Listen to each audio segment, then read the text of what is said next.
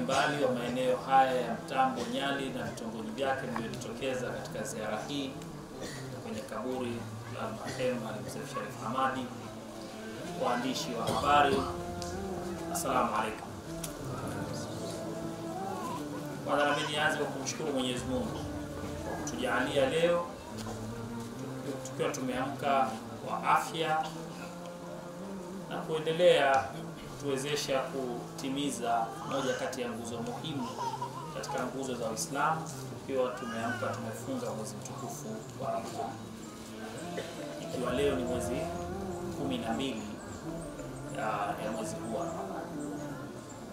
Lakini pili, mshukuru pia Mwenyezi Mungu kwa kutuamsha leo asubuhi tukaja kutembelea au kudhuru kaburi hili la kipenzi chetu kiongozi wetu almarehemu Maalim Seif Sharif Hamadi, Mwenyezi Mungu amrahamu, Mwenyezi Mungu amsamehe makosa yake, Mwenyezi Mungu amfanye miongoni mwa waja atakaopokea akiwa amewaridhia, na amjalie miongoni mwa waja atakaowapa pepo kubwa ya Firdausi.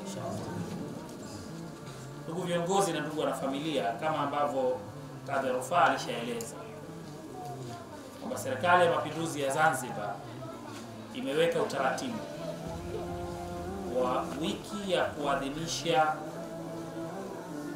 siku ile tunaita ya mashujaa au kuelekea kifo cha kiongozi au rais wa kwanza wa Zanzibar Sheikh Abeid Amani Karume, basi huwa inafuatiwa au inatanguliwa na ziara kwenye makaburi ya viongozi mbalimbali wa kitaifa kwa ajili ya kuwaombea dua.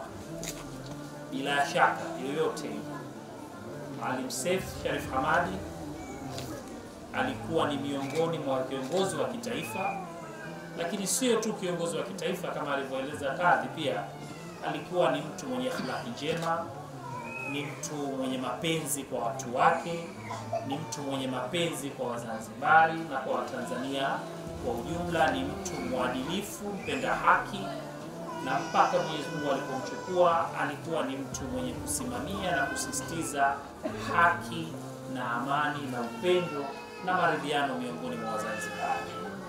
Kwa hiyo tuna sababu, kila sababu, sio tu katika kipindi hiki ambacho serikali imeweka, lakini tuna kila sababu ya sisi aliyetuacha kuja kuzuru kaburi lake na kumwombea dua na sio tu kuzuru, hata tunapomaliza ibada zetu tuna wajibu, tuna ulazima, tuna, tuna sababu ya kumwombea kumwombea dua kipenzi chetu pamoja na viongozi wengine waliotangulia mbele ya haki.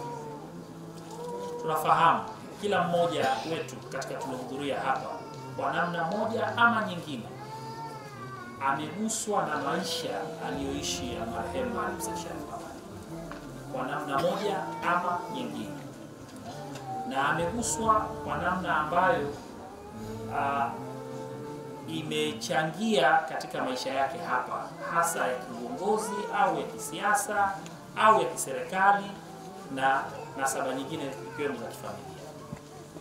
Kwa hiyo kusanyiko letu hapa leo ni muhimu sana, kwa sababu tumekuja kwa kutembelea na uh, kwa maana ya kudhuru kaburi lake kumwombea kumwombea dua. Nasaha zangu kwetu kwenu nyote na pamoja na mimi, tuhudumishe utaratibu huu, tusiuache kuwatembelea wale waliotutangulia, kuwaombea kuwaombea dua. Serikali ya Mapinduzi ya Zanzibar imeweka utaratibu huu pia kama njia ya kuwakumbuka na kukumbuka mchango wa viongozi hawa. Sote tunajua viongozi hawa wameondoka katika uso wa dunia, wameachana na sisi wakiwa watu wema, wakiwa tuna mapenzi nao makubwa. Sasa njia moja ya kuonyesha mapenzi yao kwetu ni kuendelea kuombea kuombea dua, na mimi niwashukuru sana kwa niaba ya serikali, lakini pia kwa niaba ya chama cha ACT Wazalendo ambacho Maalim mpaka anafariki alikuwa ni mwenyekiti wake na mimi ni kiongozi wake. Niwashukuru sana kwa kujitokeza kwa wingi, kwa kuja kumwombea dua, kwa kuja kumtakia heri, kwa kuja kumwombea maghfira kwa Mwenyezi Mungu, lakini na sisi tumwombe Mwenyezi Mungu atupe mwisho mwema. Tumwombe Mwenyezi Mungu atupe mwisho mwema. Tumwombe Mwenyezi Mungu atuondoe duniani akiwa ameturidhia. Tumwombe Mwenyezi Mungu akatukutanishe na vipenzi vyetu siku ya Kiyama.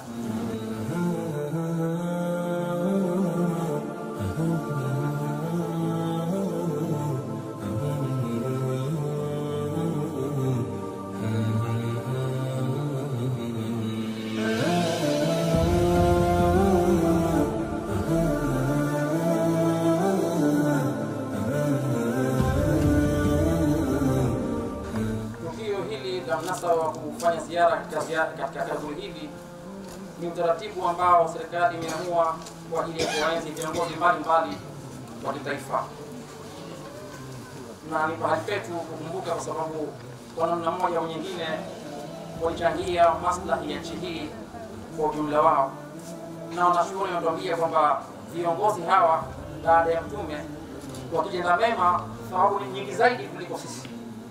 Kwa hiyo tumwombee dua athibiti kulipwa malipo yake hayo ambayo bila shaka yako mema aliyoyatenda, hata kama binadamu alkamalillahi, ukosefu kwa binadamu wakosekana, lakini tunapaswa wananchi na vijana zaidi kujipamba kwa tabia njema ambayo Qur'ani na hadithi za Mtume nyingi tu zimeelekeza kwamba tuwe na tabia njema.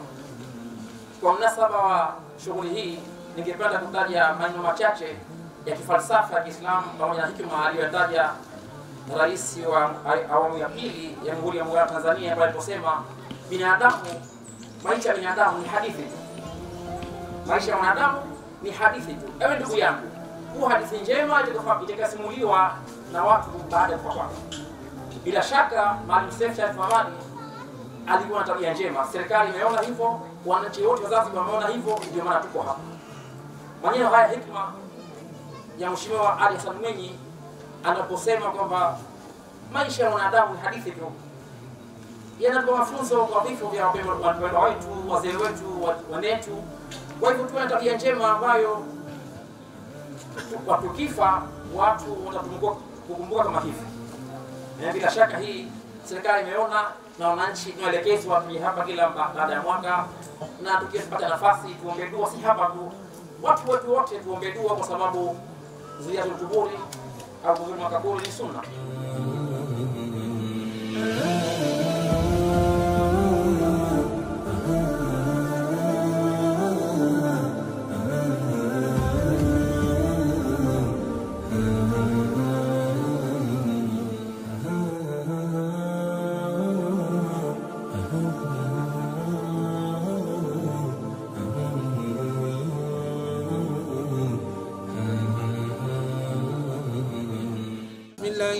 الرحمن الرحيم. قل أعوذ برب الفلق من شر ما خلق من شر غاسق إذا وقب ومن شر النفاثات في العقد ومن شر حاسد إذا حسد الله.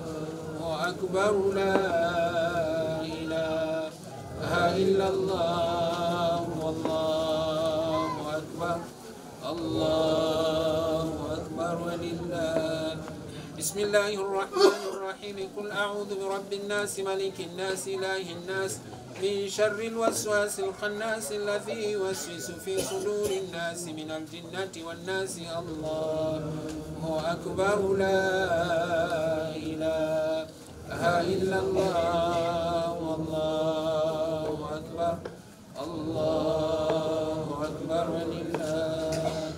الحمد لله رب العالمين والصلاة والسلام وبارك على أشرف المرسلين وعلى آله وصحبه أجمعين. اللهم عافه واعف عنه واغفر له وارحمه ووسع مدخله ونقه من الخطايا كما ينقى الثوب الأبيض من الناس اللهم اغسله بما يغفر ببرد اللهم زوجه خير من زوجه وأهله خير من أهله. اللهم ادخله الجنة. اللهم اعذ من النار. اللهم ان كان محسن في حسناته وان كان مسيئا فتجاوز عنه. اللهم أنا نعوذ بك من عذاب القبر ومن عذاب النار ومن فتنة المحيا والممات ومن فتنة مسيح الدلال اللهم اقنا بحلالك عن حرامك ومن شرك اللهم ربنا اتنا في حسنة وفي الآخرة حسنة وقنا عذاب النار. ربنا لا تزغ قلوبنا بعد إذ هديتنا وهب لنا من لدنك رحمة إنك أنت الوهاب. وصلى الله على نبينا محمد وعلى آله الحمد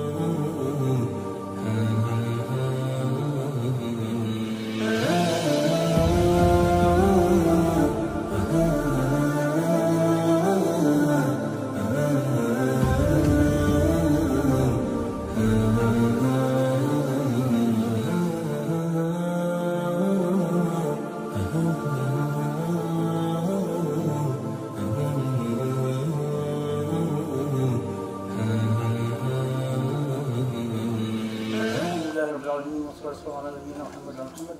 اللهم عافه واعف عنه واغفر له وارحمه وسع مدخله ونقه من الخطايا كما ينقى الثوب الابيض من الدنس اللهم اغسله بالماء والثلج البرد. اللهم اعطي زوجه خير من زوجه واهلا خير من أهله. اللهم ادخله الجنة. اللهم اعذه من النار. اللهم إن كان محسنا حسناته وإن كان مسيئا فتجاوز عنه. اللهم ادخلنا الجنة مع الأبرار. وقنا عذاب النار. اللهم اقنا بحلالك عن حرامك وارزقنا فضلك ما سواك ربنا تقبل منا إنك انت العليم وتب علينا إنك التواب الرحيم. وصلى الله على نبينا محمد وعلى آله وصحبه.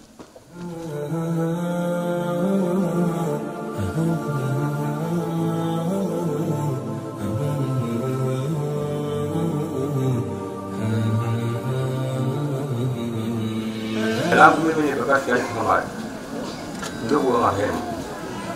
Nimesimama hapa kwa niaba ya familia yote washukuru kwanza, kushukuru serikali ya Zanzibar kwa wewe mheshimiwa na ujumbe wako na wakubali kuasikia kutika mto huo wa serikali ukatufuata hapa katika kijiji chetu cha Nyali kuja kumwombea mzee wetu marehemu Sheikh Hamadi dua. kwa akubariki.